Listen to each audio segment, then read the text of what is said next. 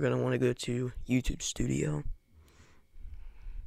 Once you're here, go down to the bottom on the left hand side, click settings, and then you're just going to want to want to go to channel and then go to feature eligibility.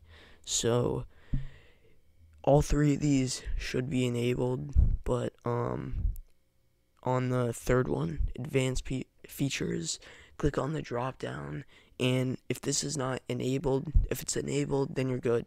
You will be getting the community tab within like the next week or two. YouTube will be rolling it out to you and your channel will have the community tab soon.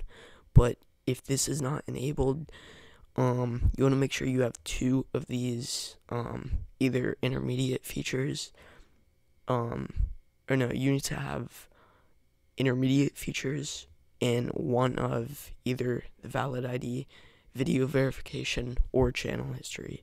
Now, I have the intermediate features and channel history, so I should be eligible for the community tab